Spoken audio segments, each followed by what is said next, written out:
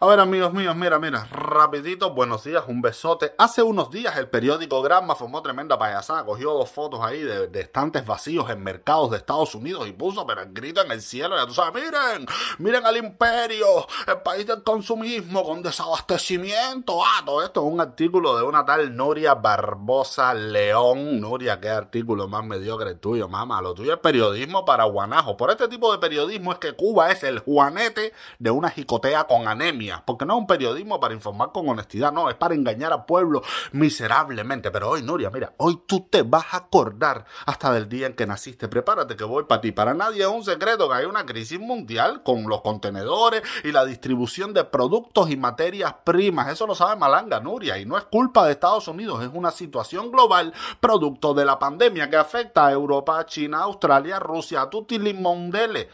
Nuria escribe este pequeño articulito con toda la propaganda esa que le gusta a la Ñico López, a PCC, a Raúl, a Canel. ¡Eh! Pero esta mujer y el periódico Granma lo que están tratando de hacer es justificar el desastre cubano. Ese, ese punto, justificar el desastre cubano. Si Estados Unidos tiene desabastecimiento, nosotros, por supuesto que también. Mm. Nuria, Nuria, mírame a los ojos. El poco pollo que ustedes les dan a los cubanos se los vende Estados Unidos. Nuria, respétense un poquito de ese Estados Unidos vacío, desabastecido. Este profesor, este, este mm, lazo ese, mandó hace poquito para Cuba siete toneladas de leche en polvo con el humillante cartel de leche sí, bloqueo no.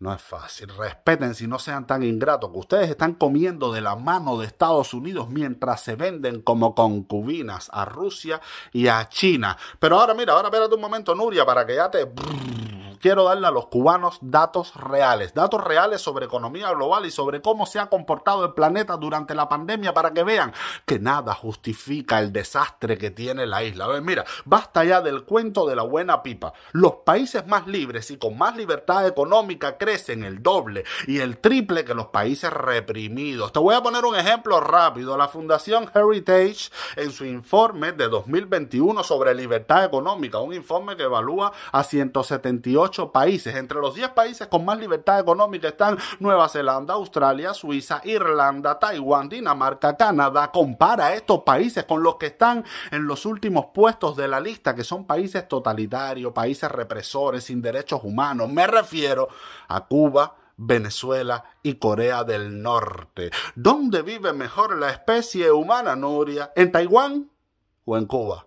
¿En Dinamarca o en Venezuela? ¿En Canadá o en Corea del Norte. Mira, moraleja súper rápida para personas inteligentes. Países con democracia y libertad económica son países amigos del ser humano, hacen que la gente prospere.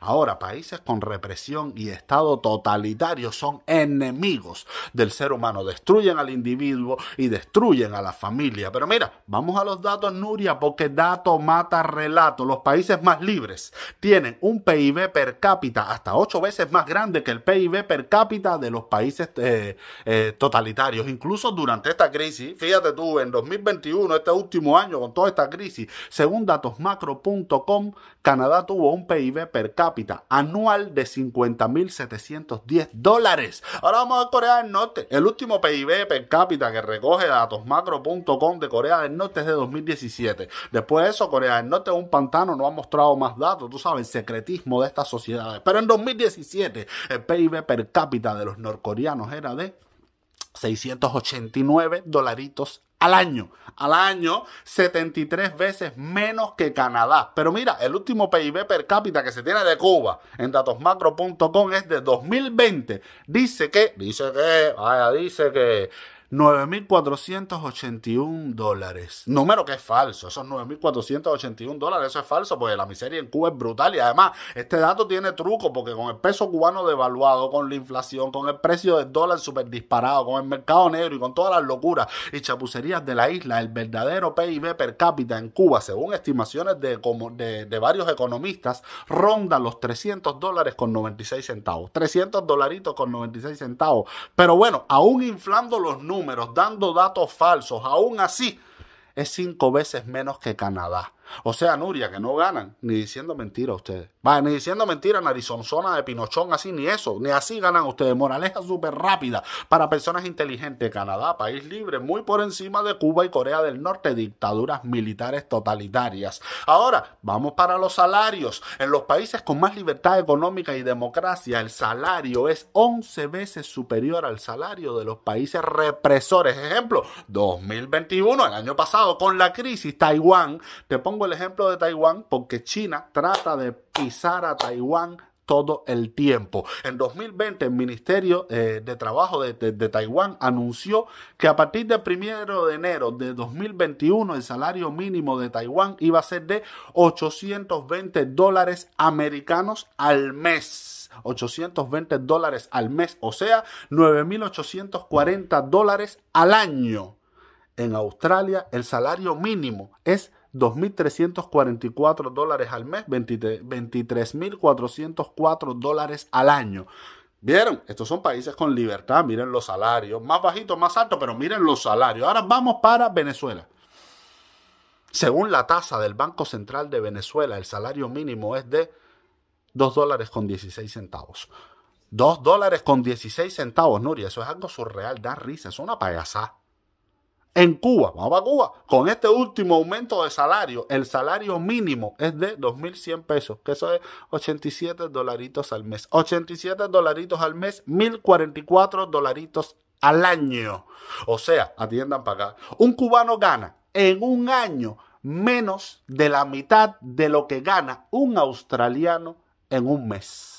Y en el caso de Taiwán, el salario mínimo mensual, 820 dólares, es 10 veces superior al salario cubano. Taiwán, que a pesar de tener grandes conflictos con el imperio China, es un país con democracia, con libre mercado y por eso su gente vive mejor que en Cuba. Cuba que también tiene grandes conflictos con el imperio Estados Unidos, pero como es todo lo contrario a Taiwán, Cuba es pobre, Cuba es miserable. ¿Por qué? Porque Cuba es una dictadura sin libre mercado. Ven, cubanos, ¿ves, Nuria? ¿No lo acabas de entender? Oye, mira, matemática simple para personas inteligentes. Lo estoy explicando de la manera más simple posible. La riqueza y la prosperidad de un país es directamente proporcional a su libertad, a su nivel de democracia, a su, a, su, a su libertad para hacer negocios, para comerciar. Cubanos no se deben engañar más con la muela visca del imperio malo que roba, que chupa. Nadie los roba y los chupa tanto a los cubanos como la familia Castro y Canel. Mira, además, te lo voy a demostrar con la misma Cuba. Cuba antes del 59, a pesar de todos los problemas que tenía, era más democrática y tenía más libertad económica que esta Cuba de hoy y en consecuencia aquella Cuba de 1959 era mil veces más próspera, más rica y más desarrollada que esta Cuba de 2022 que tiene niños presos y que anda mendigando leche en polvo. Matemática simple para personas inteligentes, señores. En el 59, el dólar y el peso cubano estaban a uno por uno en los billetes. Martí, Washington tenían el mismo valor. Hoy en Cuba el dólar está a 80 y 85 pesos. Canel y los Castro han logrado que Martí valga 85 veces menos que Washington han destruido a Cuba en lo físico y en lo espiritual. Estos dinosaurios, aparte de mediocres, lo que pasa es que ya son muy descarados, son muy rastreros, ¿tú me entiendes? Hablan de Estados Unidos, pero son tan inferiores que no han sabido ni siquiera cómo dirigir y organizar a una isla pequeñita de solo 11 millones de personas Estados Unidos tiene 50 estados, una población total que ronda los 332 millones de personas. El estado más grande de Estados Unidos es California, tiene 39,5 millones de personas, tres veces y medio la población de Cuba y si fuera un país, California sería la sexta economía del mundo. Respétense, dinosaurios, ustedes son tan inferiores que lo único que han hecho es depredar a Cuba a punta de fusil y calabozo. Cogieron a Cubita la Bella, la perla del Caribe y la han exprimido tanto que lo que hay ahora parece un guajacón en una palangana. Seis estados norteamericanos tienen más o menos la población de Cuba entre 9 y 12 millones. Nueva Jersey, Michigan, Carolina del Norte, Georgia, Ohio, Illinois, los seis superan 100 veces a Cuba en todo. Respétense, dinosaurios, que ustedes son unas criaturas chapuceras e inferiores. Ahora Ahora seguro, hmm, espérate, ahora seguro me sale Nuria Y me dice, o, o, Nuria o algún defensor del régimen. Tú sabes, ¿no? Seguro salen y me dicen, en Estados Unidos hay 40 millones de pobres. Ah, pues miren, baboso, 40 millones de pobres, ¿no? Prepárense, que ahora viene 40 millones. Es el 12%. El 12% de la población total de Estados Unidos, 332 millones. O sea, Estados Unidos tiene al 12% de su población en la pobreza. Pero ¿Qué por ciento de los 11 millones de cubanos viven en la pobreza en la isla?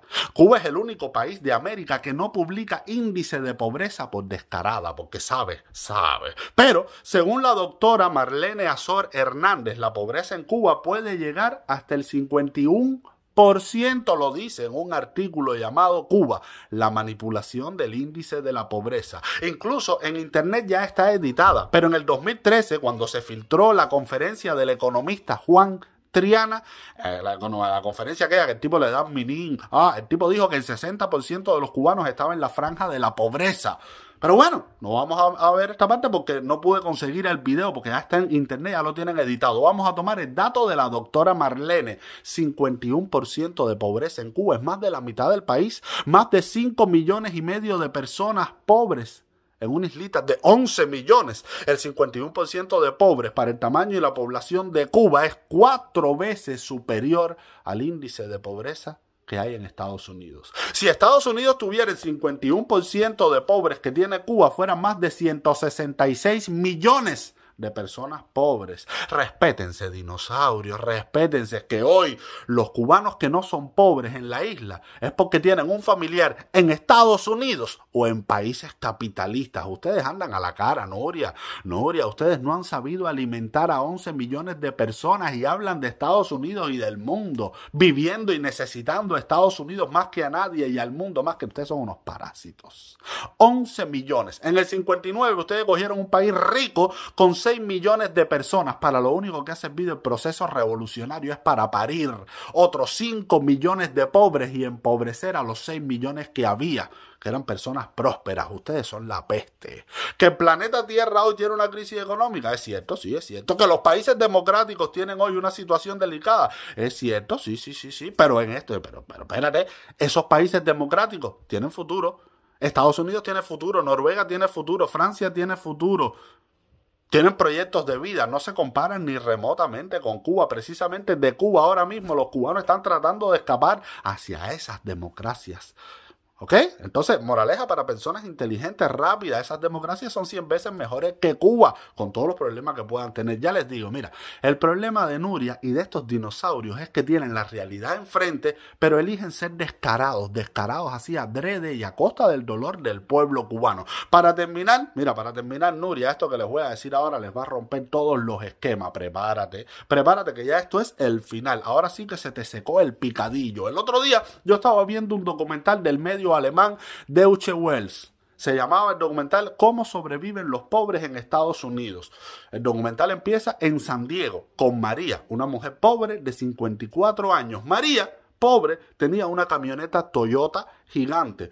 Era pobre porque no tenía casa, vivía en esa camioneta. Pero María trabajaba y ganaba 1.700 dólares al mes. Ahí yo me pregunté, coño, Coño, qué pobre en Cuba tiene un camionetón Toyota de miles y miles de dólares y qué pobre en Cuba gana 1.700 dólares al mes. Pero después en el documental te presentan un caso de pobreza más extrema, mucho más extrema que la de María. Una familia con dos hijos que vive en los Apalaches. Los Apalaches, la región más pobre de Estados Unidos. Los dos padres de esta familia estaban desempleados y recibían 1.200 dólares mensuales en concepto de ayuda social y cupones de comida. De hecho, esto que grita Nuria y los dinosaurios, en Estados Unidos hay 14 millones de pobres. Es porque esa es la cantidad de personas a la que el gobierno norteamericano les da cupones de comida a 40 millones de personas. Esto quiere decir que los países con libertad, caballeros, son tan superiores que incluso es preferible ser pobre en esos países antes que vivir en Cuba. Los pobres en Estados Unidos viven mil veces mejor que el 90% de los cubanos. La ayuda que Estados Unidos le da a estos padres desempleados, por ejemplo, 1.200 dólares al mes, supera, supera el salario mínimo de los cubanos de todo un año. Tú juntas todo el salario de los cubanos durante un año y son 1.044 dólares, mucho menos que los 1.200 dólares que le dan estas familias al año. Estados Unidos le da a estas familias, juntando todos los años esos 1.200 dólares, les da al año 14.400 dólares. Los cubanos tienen que trabajar 13 años para llegar a ganar 14.400 dólares. Entonces, Repito, abran la guataca, dinosaurios. Nuria, mira, escucha para acá, mami, mira, escucha, escucha. Los países con libertad, te lo repito, son tan superiores que incluso es preferible ser pobre en esos países antes que vivir en Cuba. Los pobres en Estados Unidos viven mil veces mejor que el 90% de los cubanos, los pobres en Estados Unidos viven mejor que tú, Nuria. Mejor que tú. Así que dense un respetón que ustedes son, se lo repito, criaturas inferiores que solo se mantienen a golpe de fusil y calabozo y niños presos. A mis hermanos en Cuba, a la gente de a pie, mira, aquí tienen información real, aquí les doy datos reales, hechos reales, casos reales, para que esta gentuza no los engañe ni los manipule. ¿Ok? Hasta la próxima. Besitos.